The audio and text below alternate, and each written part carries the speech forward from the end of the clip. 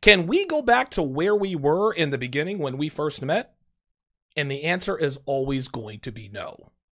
Why in the world would your girlfriend or wife work for something you've been giving her for free for the last six months?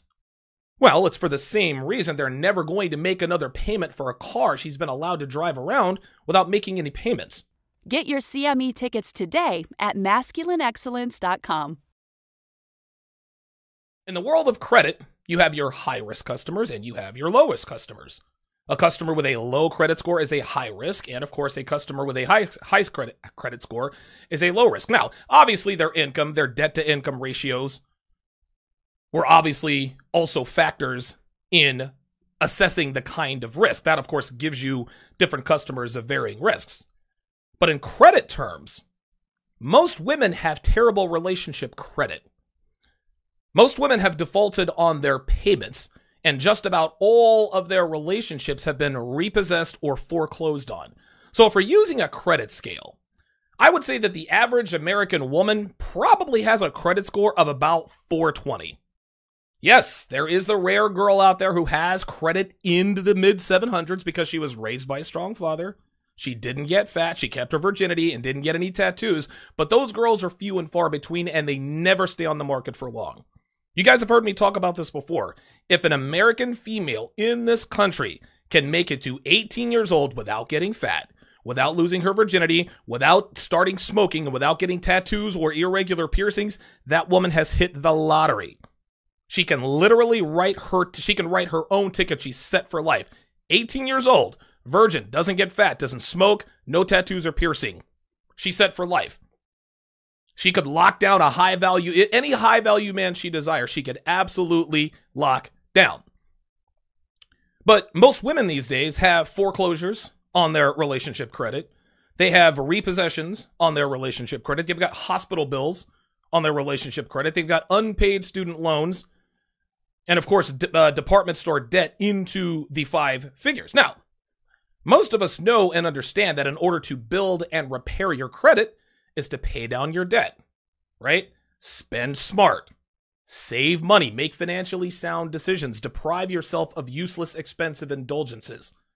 It is very, very difficult to do, but if you really, really work at it and you stay consistent, you can and will rebuild your credit to make yourself a lower risk customer, which, of course, gives you more opportunities to purchase things on credit. Now, women could do the same things in their dating lives. They could stop sleeping around. They could most certainly get into better shape. Women could eat better. They could stop drinking. They can make better decisions when it comes to men. They can stop doing hard drugs. They can stop smoking.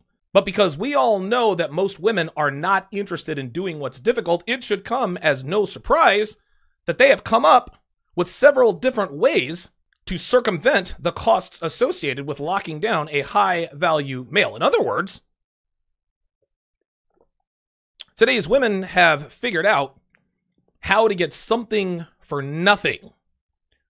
They figured out how to get something, which is a man's commitment for almost nothing. And they usually do this in one of three ways, guys. Stay with me here. Again, we're still in the world of credit. Okay? The first way, number one, the first way is the down payment and default method. This is the girl that puts down a sizable down payment in the form of kindness femininity, good behavior, sexual openness, sexual availability, a nice body, willingness, willingness, willingness to make you a priority. Now, this girl's expectations are reasonable. She's the girl who understands that she has to give a man a reason to want to commit to her. She doesn't expect something for nothing, at least not yet. So she makes her down payment, right?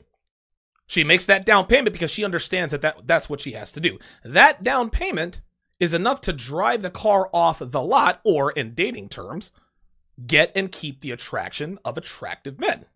Now, she'll make those payments on time for the first few months, but after a while, she'll start making her payments a little bit late. She's not watching what she eats quite as closely as she used to. She's only working out twice a week instead of five days a week like when you first met her. She's not as enthusiastic about giving you sex as she once was. She stops sucking your and she doesn't dress as sexy for you quite often as she used to when you guys used to go out. Well, before you know it, she stopped making those payments altogether. But instead of repossessing her car, what do most guys do, guys? Most guys let her continue to drive the car even though she hasn't made a payment in months. Then, when guys attempt to meagerly call her up and say, uh, Miss Smith, you haven't made a payment in a few months. It'd be great if you could make a payment, but if you can't, it's no big deal. We'll certainly give you a few more months to catch up. This is the equivalent of saying, hey, babe, I've noticed you've put on a few pounds. Can you hit the gym? And while you're at it, I haven't gotten a blowjob in quite a while, and sex kind of seems to be dropping off. Can we go back to where we were in the beginning when we first met? And the answer is always going to be no. Why in the world would your girlfriend or wife work for something you've been giving her for free for the last six months? Well, it's for the same reason they're never going to make another payment for a car she's been allowed to drive around without making any payments. Why pay for a car that they're letting you drive for nothing, right? I certainly wouldn't. The second way that women get around the costs of locking down a man of value is the low down payment, zero interest for six months girl. Now she looks a little bit better than most girls. She's usually, I don't know, maybe like a seven and a half or up. She's got a great body. She stays in shape. She is sexually open and willing, has a pretty good temperament. Now she doesn't really cook, doesn't really clean, and she'll only dress up when she feels like it. But for most guys, she is sexy enough to allow her to slack off in some areas. Now, this girl's expectations are a little bit higher because in her mind, looking better than most girls, in her mind, again, is enough to warrant the commitment of a high caliber guy. So the first six months goes by, and the girl doesn't do anything to improve herself, which is fine. That was the deal. Zero payments for six months, zero interest. So on month seven, her boyfriend expects that first payment, but guess what? That first payment never comes. Guys, not only is she not trying to improve herself, her fitness level falls off. The sex drops off. And she's getting more and more neurotic and bitchy by the day. Once again, we pick up that phone, we make that phone call. Uh, Miss Smith, you were supposed to make your first payment, but we haven't received it yet. But guys, Miss Smith never intended on making that payment in the first place. Why?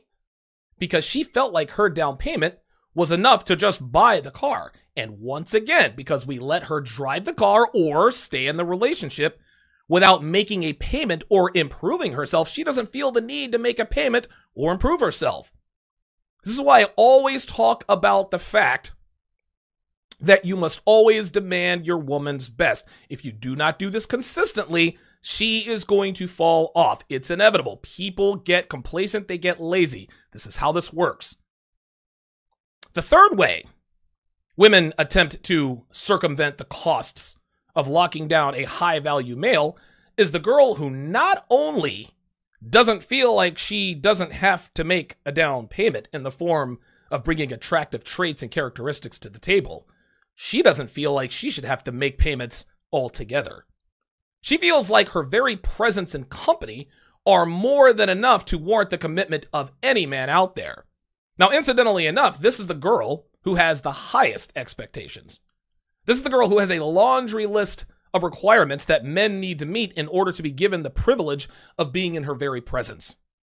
Funny how that works, right? The less women, the less women tend to bring to the table, the more entitled they tend to feel, the more they feel like they deserve in a man.